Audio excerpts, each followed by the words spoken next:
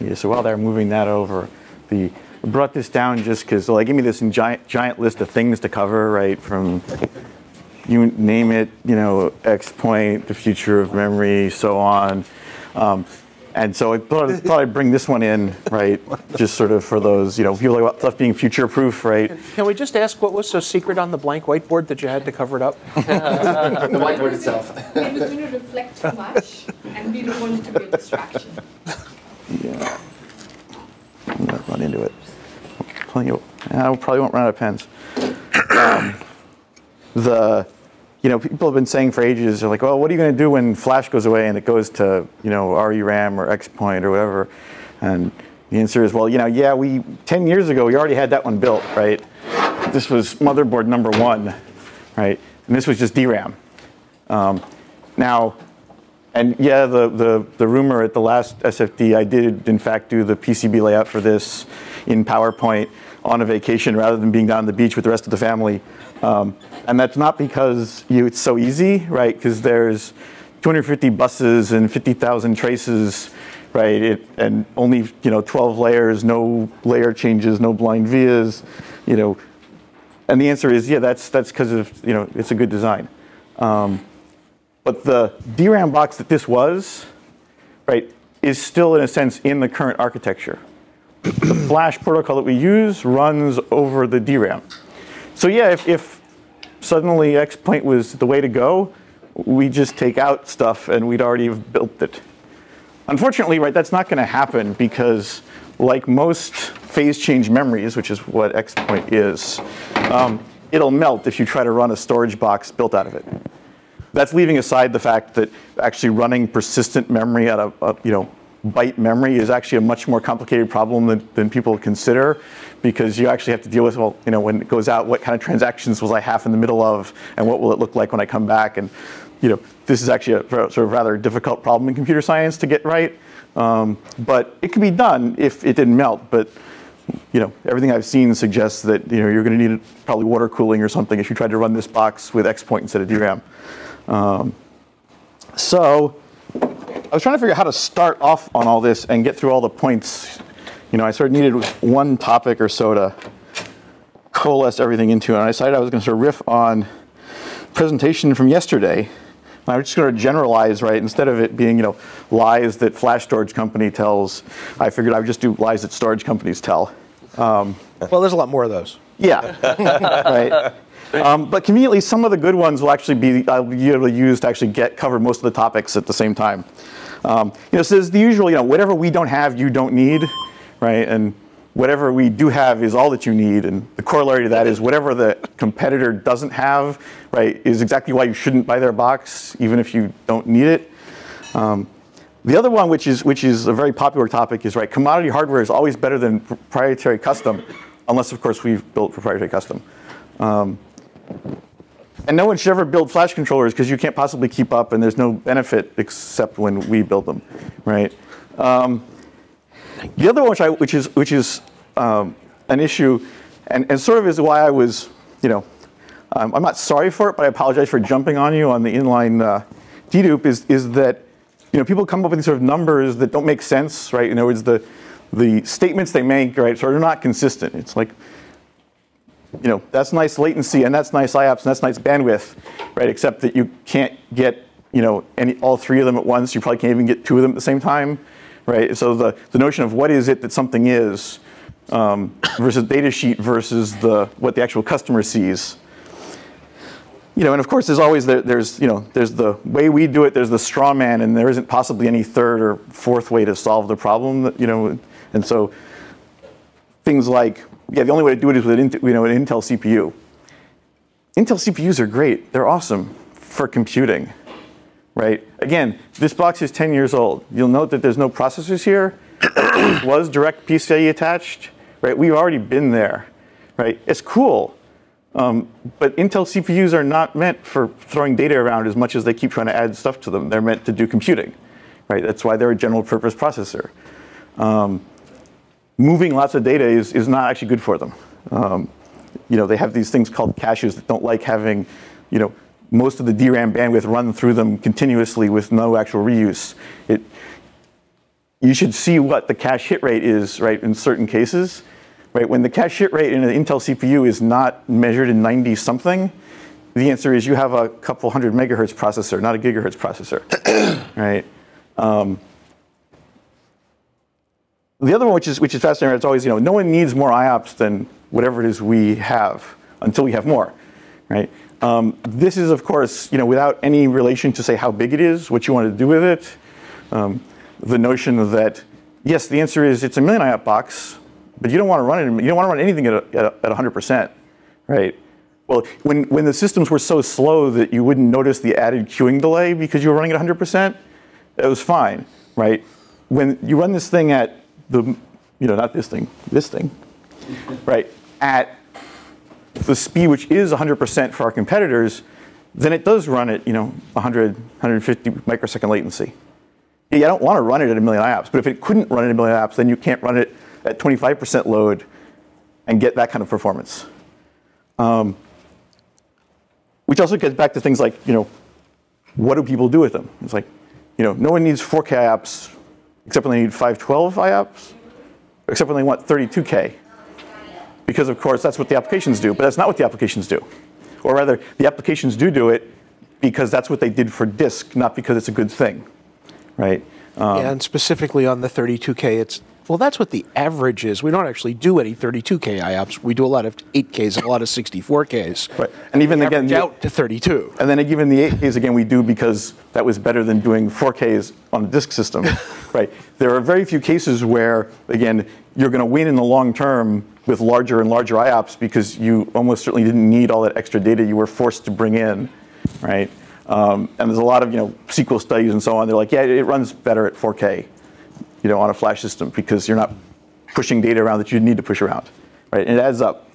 Um, you know, and again, what do I need all this all this IOPS for? Well, you wanted to replicate it, right? That means the other box is writing. So unless that other box was a data center that didn't actually do work, they both had their local load and they had their replication load. Oh, you mean you were going to only just use that box as a dead end? You weren't actually doing any work in the other data center.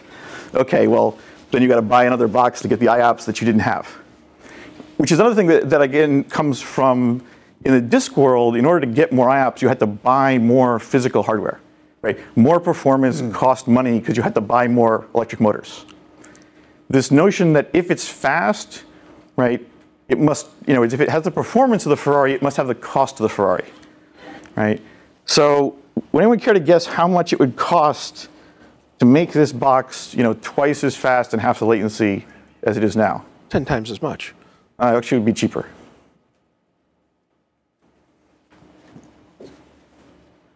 Right? Because what's, what's the reason I only go to million IOPS is not limited by anything that, you know, I can run up a couple clocks. In fact, take some CPUs out. Remember I was saying about the Intel CPUs are not good for data, right? I'd actually be better off with a single socket system that they can interconnect so bad that it's not worth having. Um, the other one which I love, which relates to the performance, is always, you know, be, only because of our fancy technology does our flash not, the flash not wear out. No, it's because your thing is so slow you can't actually get more than about a drive write a day on the array that it doesn't wear out. You could do whatever you wanted. Um, and the one with all, which is where I'm going to sort of spend most of the rest of my time, um, related also to the Intel CPUs, is you know we have this fantastic novel, you know, reinvented RAID or, you know, system, and that's why everything is wonderful. Of course, in most of these cases, they didn't. It's neither is it wonderful nor did they invent it. Um, I'm pretty sure there's a lot of people at NetApp who, you know, probably took some exception to all the XDP claims about their wonderful rebuild because I'm pretty sure that was what dual parity RAID did, you know, the moment it came out. Um, the recent DSSD announcement of, you know, this First true cubic RAID. Of course, there is no such thing, so I don't know what it means to be a true cubic RAID, except they talk about how there's nothing in the data path. So, so where's the RAID get done? Right? Oh wait, so you must be running it in software on the host, which means it's single only, and how on earth does that RAID, you know, even produce those numbers? Much less the fact that again, there are wonderful claims about being able to do all this rebuild. It's like they should again go talk to some folks at IBM who did that in even odd RAID 20 years ago, right? Um, Everything old is new again. Everything is old is new again, um, which is why you know that's why we don't do you know RAID six or you know erasure codes or so on. Right? We use something really old. Right? We call it VRAID, was basically RAID, RAID three with tweaks. Now you've gotten shown some of this. Right? Good thing you don't have to worry about synchronizing the spindles. Well, you know, it's funny you should say that because that's one of the things we do. And again, it comes back to being able to both have the performance without have to pay for the performance. We do, in a sense, synchronize the spindles. Yeah, but solid state spindles are a lot easier to synchronize. Ah, but you have to be able to, which comes also back to why. So, you know, the, the question was asked earlier, you know, what's the connection? And so you gave sort of the, the simple answer, and that's sort of why, you know, sort of, I, I apologize for jumping all over you on the definition of, of inline, although I'm not sorry for it, because the problem is that in this, this industry, right, you say something and it gets, you know, wildly exploited by people. If you, you know, give people the truth, they go and they run with it. Um, so the interconnect between here, right, again, this is proprietary and it gives us all sorts of benefits, um, which is why we both built it and continue to use it. Um, and so if I could tell you, you know, how fast it runs, um, it runs at 250 megahertz. Right? I remember when that was fast. Yeah. But it still does a million IOPS, right? But you know, now that I've said that, I'm sure people will go and make fun of it somehow, right? Except again, it's I'm getting from a system with 120th the clock speed, you know, four times the performance of somebody with a six gigabit SAS, right? Um, and that's what I say that commodity parts, commodity standards, and you know, Intel CPUs are, are not necessarily a good deal, nor are they the way to go. Um, so just to make sure that you know we're all on the same board before I go and trash a couple other things, the what we do, right, is a CPU complex, and it talks to an HBA, right?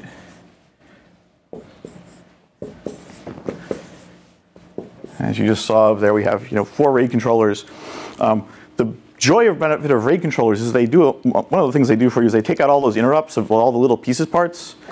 They also prevent you from having to deal with all the pieces parts coming back at random times. Right, and say we do actually synchronize the spindles.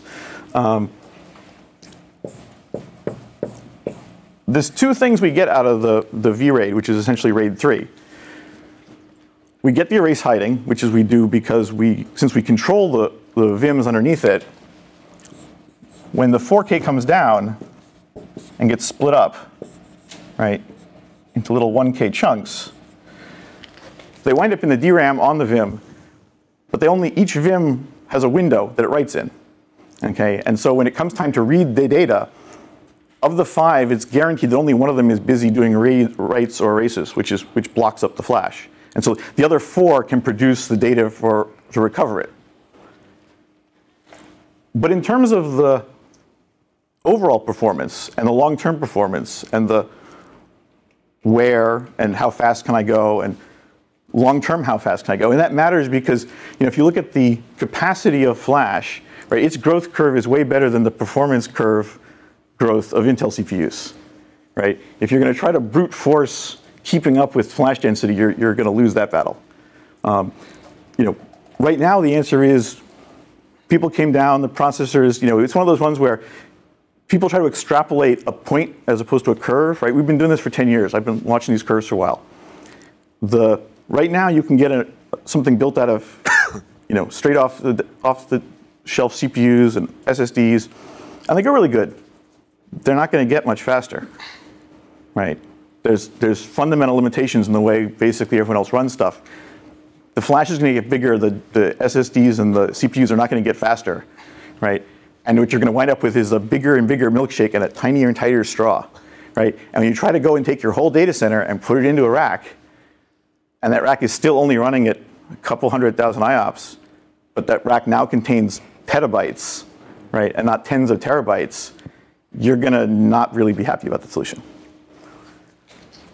So again, people always, you know, they make fun of it. They'd be like, why are you splitting this up, you know, four plus one, so on. Well, if you look at the total overall work we do here, you do a write, it comes in, we write 5K, right? 25% overhead of the actual write to the flash. But that's also the, the limit of what winds up being having to actually be written, right? It's a, it's a 25% expansion. Now on the VIMM, right, if you sort of look at the, the time slots, as it were, right, that it's got five slices. In one of them, it's busy doing writing, okay?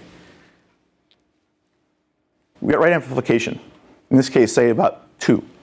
So half of that write time is writing whatever the user sent me. And half of that write time is writing stuff which I had to garbage collect. Right?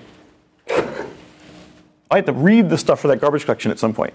Right? So I got sort of 10% of my time writing new stuff, 10% of my time writing garbage collected stuff, 10% of my time reading stuff to do garbage collection. Right? So that's about 30% of my available, you know, window before I come back around. It's actually kind of convenient, right? 70, 30 write mix being kind of standard, right? So I've, that works out pretty good.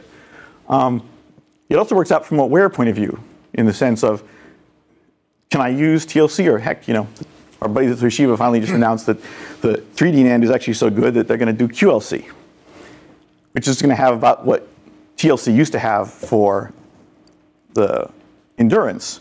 So the question is, can you use that? How much write amplification do you produce in a system? And this is again one of those ones where people play lots of games. So I'm going to take this one down kind of deep and explain why it matters because if you know I have enough of a, mul- a multiple advantage over you architecturally, the answer is you can't use that, I can. Right? You want to have the density and the price? Well, that's nice, except you actually will wear out if you try to use that stuff. Um, I've been wanting to use TLC for a long time. The problem is that they kept building it for cell phones and not for data storage, right? So they wouldn't actually make it 50% larger on the same die. They would make a die with exactly the same size that was slightly smaller, and the price advantage wasn't that good, and they wouldn't package it in, you know, The cell phone guys buy a lot more flash than you do. I'm not suggesting that I'm a better market for them. I'm just saying that the point is that the TLC was not actually packaged, right, to be beneficial for Flash, right? I think they've finally sort of gotten around to saying, okay, we're going to make this stuff bigger now. Well, that's good as long as you can use it.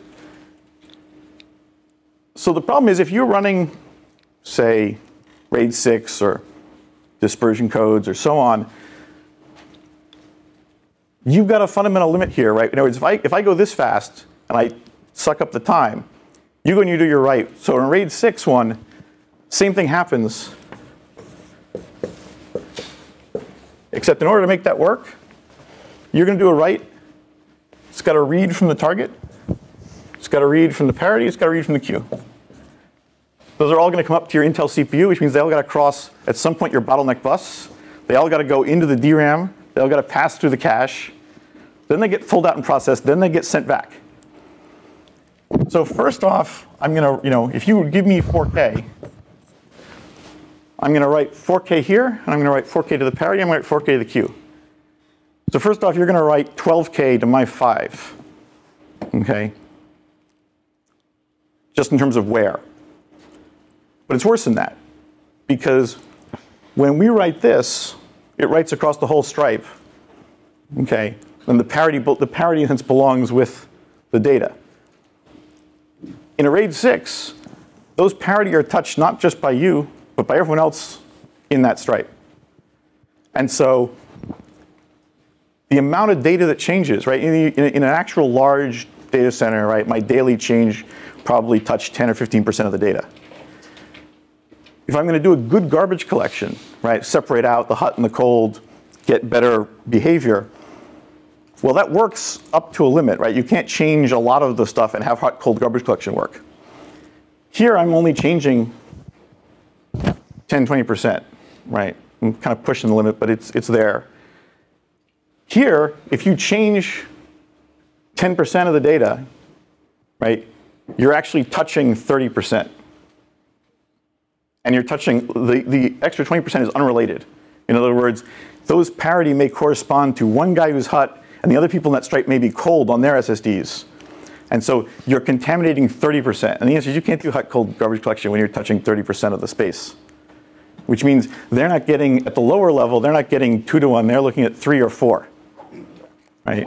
So first they're writing two and a half times as much physically to the SSD, and then the SSD is writing two or three times as much. Right?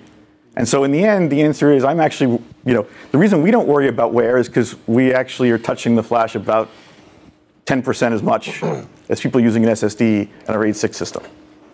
Um, so, you know, yeah, if the QLC stuff they package right, you know, I'll be happy to use it because we can run that. That's the other one. People talk about, you know, we can do tiering, right? And again, this is, yeah, if, if you only buy SSDs, tiering means I got to have some QLC SSDs and some MLC or some other kind of SSDs. And if you're running the flash, the answer is you're already tiered however you want to be, right? If, you know, the way people used to run TLC in the old days, although it's going to change with some of the 3D, is first everything got written into blocks in the TLC that were run in SLC mode. And then it would go and collect those up and stick them into the TLC. But if you ran the controller, you could just decide to take some percentage of the blocks and keep them in SLC mode just to use for hot stuff, right? I could tier within the thing, and I could tune that, right? Wanted to do that, but again, they, they wouldn't. They wouldn't package. The, they packaged the TLC for the cell phone guys, right? When they package the stuff for the data storage guys. So the point is that the note again. This gets back to this notion that somehow fast is expensive, right? But it's not. When you're dealing with a piece of silicon, the answer is fast is just have I got a better algorithm, right? Have I got a better interconnect, particularly a better interconnect, because as I said, right, if you run all this stuff through the CPU, it's it's ugly, right? It's you know, the answer is you can, right? Um, I could go a lot faster, right? If you'd stop telling people that they don't need, you know, a million D2 IOPS, right? That would be pretty easy to produce. Except if you tell someone that and they're like, oh, it must be expensive because it goes fast. you know what? Um, the problem is that it's again I don't necessarily want to go a million IOPS all the time. In fact, I, I kind of never want to go 100%, but I got to have that around for when I have a problem. Like, so, you know, Steve's comment about the, the you know, recently announced uh, FlashBlade, right? Sounds really cool, right? You know, 50 terabytes on one blade, and it's got, you know, look at all that back-end interconnect, and what is it, got, you know, erasure codes across the thing run out of the CPUs. Yeah, let's discuss that, shall we? Right. So each one of those blades has got 50 terabytes. It's a lot of flash back here. And it's got two spigots, 10 giggies. So I'll be nice and say that it gets a gigabyte of actual bandwidth off of each one. Right. So that's like two gigabytes a second. That's 50 terabytes. You want to rebuild one of these? It'll take you seven hours at 100% load of the entire array. Well, right? I didn't go to their event earlier in the week, but if they're not stupid, it's not a, it's a many to many, not a many to one rebuild. No, no, you understand. You know, you have to put it back on, right? It's not. It doesn't matter where it gets done. It's got to be put back into the one that's failed, right? It will take you seven hours to pump 50 but, terabytes if, but in. If you, but if you rotate stripes around the modules, you don't bottleneck because you're not rebuilding to one. You're re- rebuilding many to many. No, no, no. Okay. I've got a box, right? I've got all the, the arrays. This one dies. I take it out. I put it back in. Right? You have to put the stuff back on that one. No, I don't. Well, then, what, is it going to sit empty? It. The implication is you write to it over time. Yeah. There's no. There's no.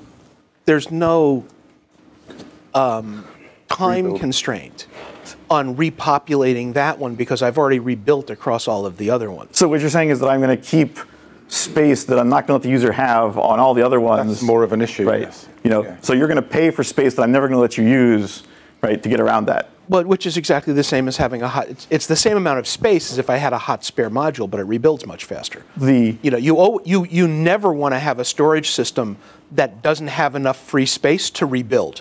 Well, depends. What's the point? uh, How do you say? If you're going to run erasure code, right? I've got three spares in a sense already in the system, right? In other words, if you're gonna if you're going to go and say I'm going to rebuild into that, then the answer is that's like having four, right? So now I've got you know four spares out of the. I'm a the storage 12. guy. I'm paranoid. I'm just saying, right? You know, again, the answer is you, you got to put that up there, right?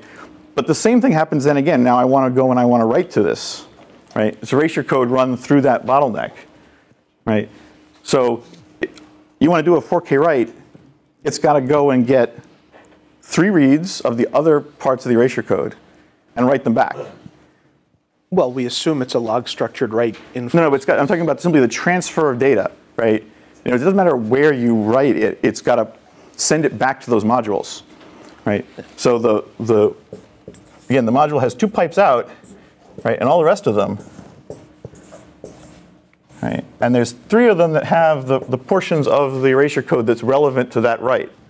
Okay, so it has to get the data from them, do its computations, and send it back to them. Okay? And then if you imagine that I'm writing across all of them, then there's going to be three other modules who are going to have writes for which I'm one of those three. And so on average, in order to do one 4K write, I'm going to get seven pieces of data coming in, six pieces of data going out. Right? So a system that looked like it had, you know, 24 gigabytes of, of bandwidth, right, has got like three and a half of it of its 600, you know, from which I'm going to talk to 600 terabytes, right? So I've got this system which is brand new, right, and whose performance is going to be, you know, about where I am, but at five times the density, right? So your IOPS per gigabyte is, is a quarter from a box which is brand new versus a box which is a couple years old, right? You know, and particularly you talk about, you know, whether or not the, the performance of the system is predictable, right? You ramp up the writes, the read goes, you know, basically takes a 90% hit, right? So now imagine, you, you know, trying to tell people what the heck they expect to get out of that system, right? Some days it's fast, some days it, it crawls, right? If you, you know, I'm doing any big update to it, the performance just goes completely away. So, and again, the same thing is here, right? That write produces four, you know, three others, right? So just in terms of what they're getting here is 4, 4x write amplification instead of 25%, right? And again, because of the fact that it touches the stuff which is unrelated in the whole stripe, you're not going to get hot cold. And so this is the bit where um, these are limitations, right, that are multiple factors. And so particularly if you want to do this stuff with commodity hardware, but that's not, you know, they're not, right? They, to even make this work, they had to go to stuff which wasn't, right? They had to go to, to but it's still not going to even come close to that kind of performance, right? From something which is brand new. And so this is what I mean by the, you know, as this stuff gets denser and denser and denser and denser, right? How many apps can you put in 600 terabytes? And that's raw. That wasn't even before you did your compression or, you know, other features which they don't have because again, that would be really hard to do in that architecture, right? How many racks of stuff, right? How many apps do you need? Well, I'm going to guess you probably need more than they're going to give you, right? And that curve is going to keep going, right? In other words, the the CPUs are not going to give you the performance to keep up with right the growth rate in the flash and so the you know, it looks good right now for people building this stuff out of commodities and slapping some SSDs and some NVMe and so on. It's not sustainable, right? Um, and it's not sustainable because the you know the benefits you can get from doing some of these things. You know, it's the, the benefits I get in hardware, right? So again, we're getting that performance from a, from a connection which is running at 20th the speed, but it further it does things for us that you know NVMe, SAS, don't even come close to. Right? We talked about the scrubbing earlier. The array self-scrubs in the sense that it doesn't do it by the array controller going and reading everything and reading it back in. The modules do. Right? And then when the modules discover something that's bad, they simply talk directly to the RAID controller, right? Unlike an SSD, which has no idea that it's even in a RAID set, much less what the RAID controller it is, right? Every VM knows it's part of a RAID set, right? Knows it's part of the RAID controller and knows the protocol. So it just calls up the RAID controller and says, would you please rebuild this address for me? Right? In hardware directly, right? No intervention. Goes and finds a, you know, a block is bad, rebuilds the block. Whole die is bad, rebuilds the die, right? It'll find that out almost immediately. And so the, the window of vulnerability, right, then becomes really small. But we can do that again because it's not a commodity protocol, right? And so the, if I managed to get every single one of the things I wanted to get to, yeah, largely, right? You know, and the same thing again. This is this is this was bashing RAID six and, and erasure codes and so on. The same thing is true of all people who are like, oh look, we've discovered that our lovely you know WAFL or our log or journaling system writes you know in such a way as to not cause any write amplification whatsoever. Yeah, except for the fact that you have to do log cleaning, and log cleaning in a full system is, you know, horrendously painful. Um, there's also the case that, that the notion that somehow if I write simply in blocks of the size of the, the, the flash block that I won't get any garbage collection, right, assumes that flash, you know, was digital and worked. And there's this minor problem is that the SSD, even if you write in blocks of the correct size, occasionally it's going to get an error and it's going to move stuff without telling you, right? While you're in the middle of something and suddenly when you thought you were writing a whole block, you wind up writing a block and then it moves and half the block is written somewhere else. And suddenly now every time you write, you're writing half of this block and half of that block. And your whole notion that you're going to prevent it from doing garbage collection just got completely wiped out, right? Um, and there's no way that you can fix this. There's no way that you can see this, right? It just happens underneath you. Um, and this is the difference between, again, between, you know, the reason these things work, people make the claims about, you know, it works because of our wonderful thing. No, it works because if you've got SSDs who benchmark them, you know, each individual SSD benchmarks at 70,000 IOPS, right? Could mean the whole array should do 2 million and you're getting 200,000 out of it, right? It works because you're getting 10% of the available performance, right? Anything will work. That's why pretty much all the people with those systems have about the same performance, right? Um, and so this is also why you don't expect to see them get any faster, even though the flash is going to get denser and denser and denser, right? You can already stick, you know, 15 terabytes in one of those things, right? I could build a, a box with, you know, 300 terabytes in SSDs. Again, that and, and only 100,000 IOPS, you know, that suddenly wouldn't seem so fast, I don't think.